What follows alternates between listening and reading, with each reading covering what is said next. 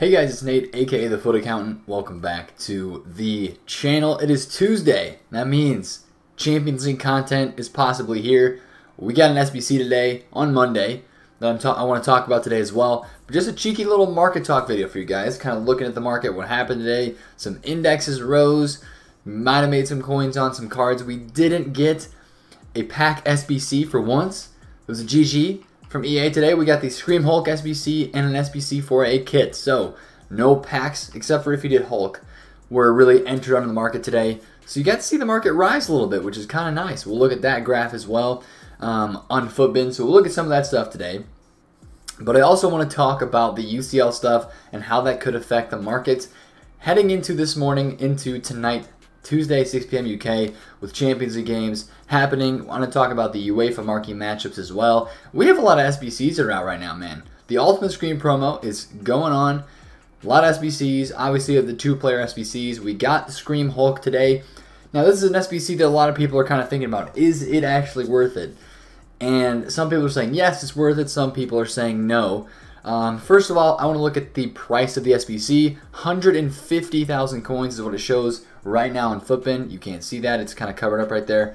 But 150k to do this SBC, honestly not too bad. I mean, if you think about his inform card last year during FIFA 19, his inform card was like 300,000 coins when it was in packs. Now, granted, I think that had a different position. I think it was a center attacking mid card. Um, but this card right here, honestly, it's not terrible. Uh, this Hulk card, it's honestly not too bad. He is right mid. That takes him down a little bit, but he's got very good looking stats with the four star skill moves. The left foot for cutting in with a finesse shot. High medium work rates, 5 foot 10. And he's got pretty good stats all around. Obviously, the stats people are going to point out right away are probably the 59 balance and the 76 composure. 76 composure isn't terrible. The agility isn't great either.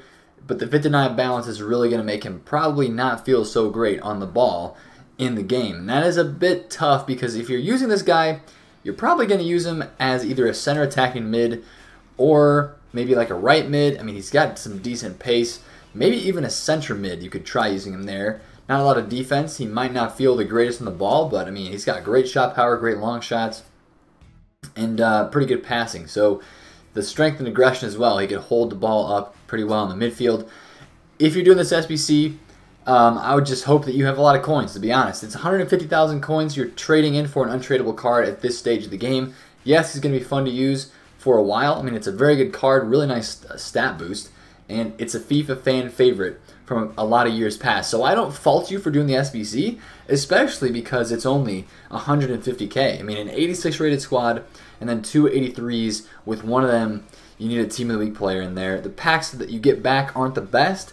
Uh, you do get a rare mega for the big SBC, which costs you 120k, which is definitely the most of the the value of this SBC. So it's not a terrible SBC. Maybe like a six and a half or seven out of ten is what I would say. Maybe even a seven and a half out of ten is where I would kind of rate that SBC. Not bad if you're a Brazilian, if you're a Chinese league fan, if you're a Hulk fan from back in the day, if you're just a an OG FIFA fan with the Hulk cards, go ahead and do that SBC. Honestly, not too terrible.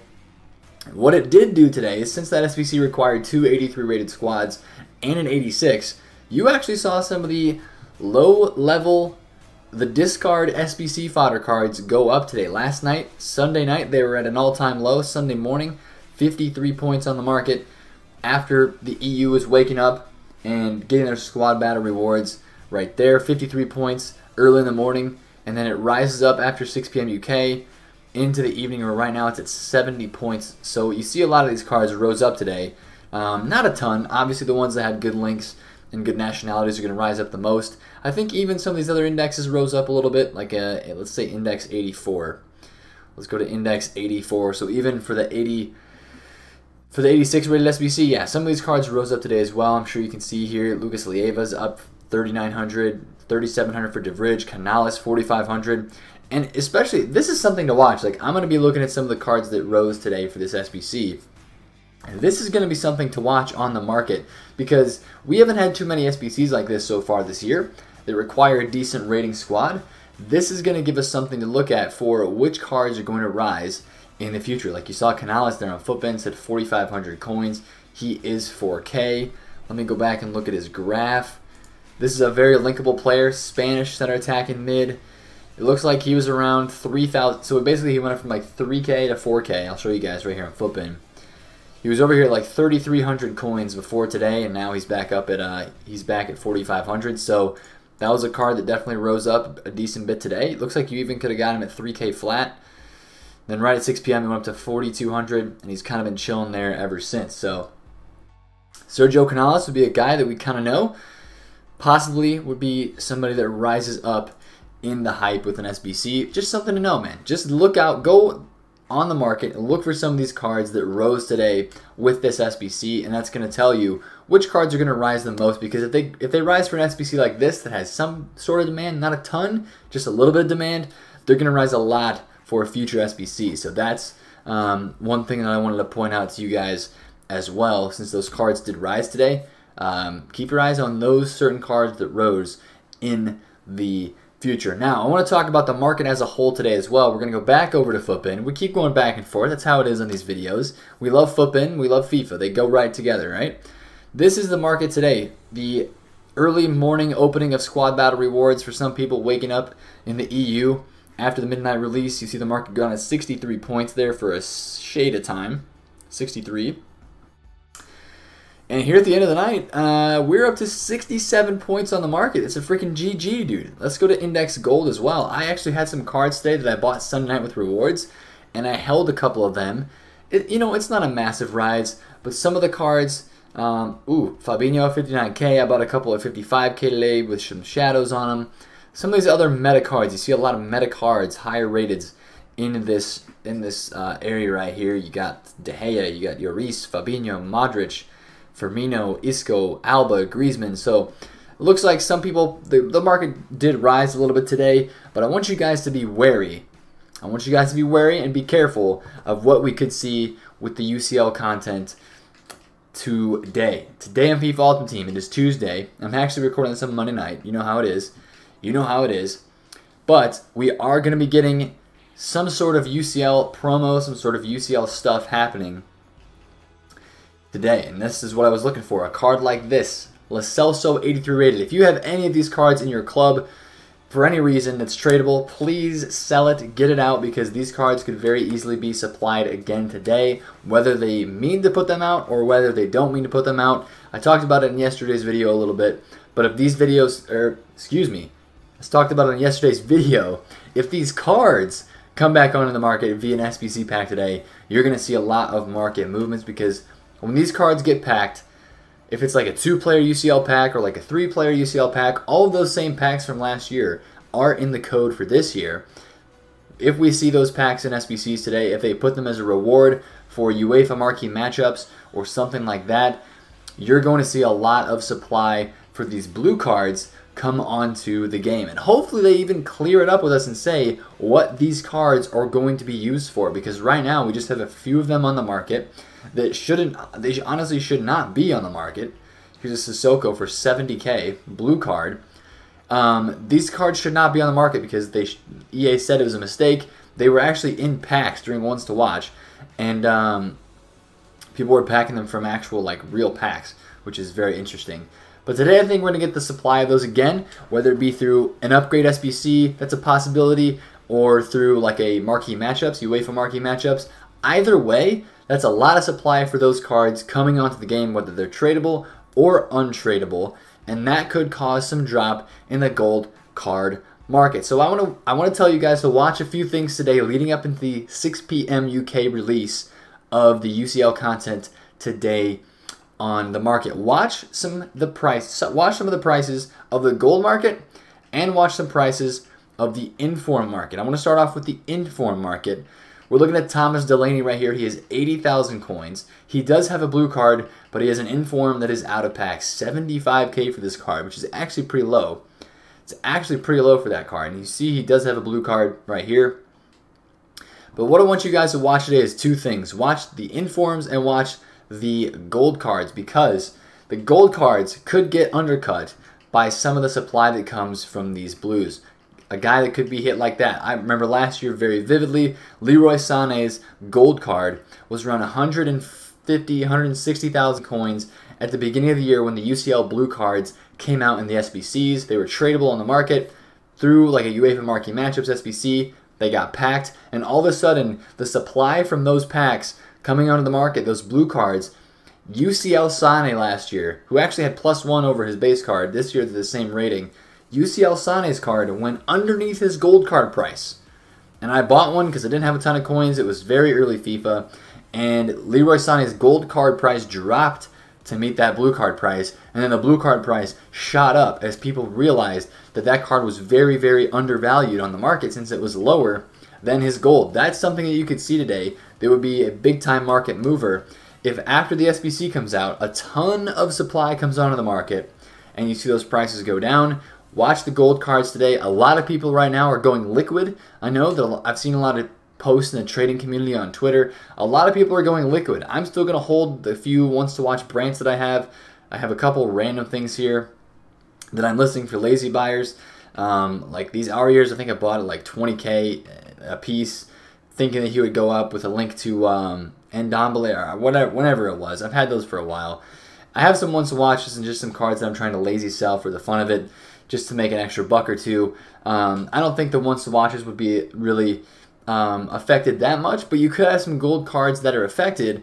So maybe it is a good idea for you to look at your club and say, hey, maybe I can sell some of these guys because if the SBC comes out today, we could see a big time drop in the gold cards on the market. And of course, what it is with these supply pack SBCs, new cards coming to the market, for the high rated golds that are very popular, it's always a drop and then a rebound because people still need those cards for their club, especially if they're doing an SBC that brings them coins and packs and getting coins from packs. They can go out and buy players and upgrade their teams and buy those players back if they panic sold, buy back, whatever. But the blue cards are what I'm going to be very interested to see how EA decides to do that today. And if they decide to put them out via SBC or like whatever, and if they do decide to supply them a lot. If it's just one pack or if they just do the UCL upgrades. That's a possibility. You might see a little bit of a panic on the market. I remember last year everybody loved to trade with the blue version of Kyle Walker. Are there any Kyle Walkers on the market? There are. A blue Kyle Walker, obviously this year it has the same stats as his gold card, which is a little bit underwhelming. But Kyle Walker right there, 140k. What is Kyle Walker's normal card? Is it like 70 or 60,000 coins? Somewhere up in here? He's like 70k. So Kyle Walker's just under 70,000 coins for his gold card. But it's an 84 rated blue that could get packed a decent amount. And this is a very popular player in FIFA, Manchester City. He gets that link to the new Otamendi that came out. He's arguably one of the best right backs in the Prem right now, even though we do have some informs already in that position. Um, he's the best gold card, I think. Him and Cancelo. It's always an argument between between who's better between those two guys anyway. But a lot of people use Kyle Walker. He's English, Manchester City. So watch a guy like this, a popular player that has a low kind of rating. 84 is kind of mid mid tier. Maybe if you saw a guy like Sissoko or a guy like Ferland Mendy, this would really hurt their price, especially Ferland Mendy. I'm glad I thought of that example. This is going to be a card that a lot of people would get from that pack. If it's a two-player upgrade pack, 80 rated card, he's going to get on the market a lot. He's 40,000 coins right now.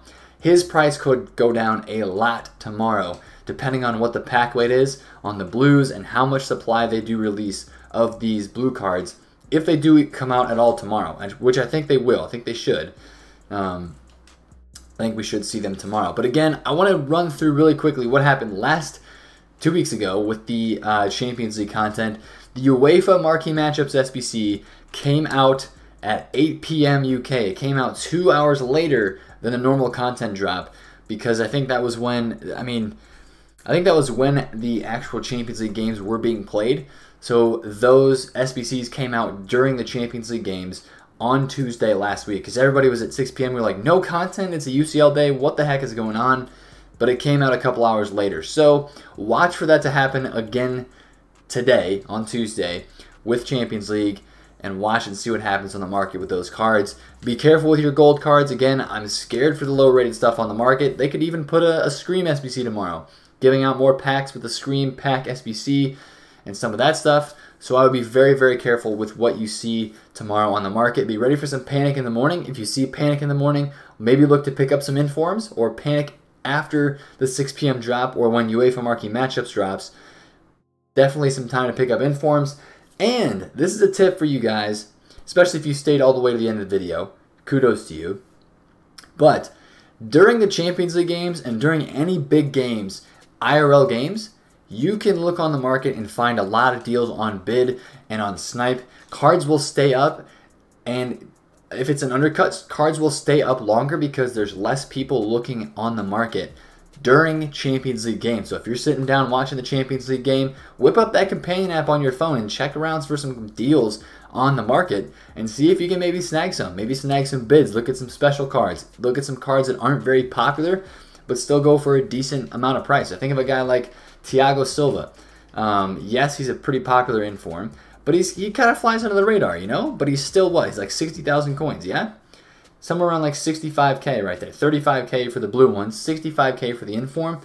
Watch a guy like this. You might be able to pick up some cards on bid tomorrow, especially some informs, high-rated gold cards, when less people are on the market watching the game while they're watching the game, and uh, possibly do a little trading during that time frame. Man, it, it seriously is a thing during Champions League games and during big games as well. Uh, it's it's uh, really interesting to see those types of market movements. If you enjoyed the video today, smash a thumbs up on it, comment down below if you have any questions, and subscribe to the channel if you're new. Let's freaking get some UCL content today. I'll be very excited for that.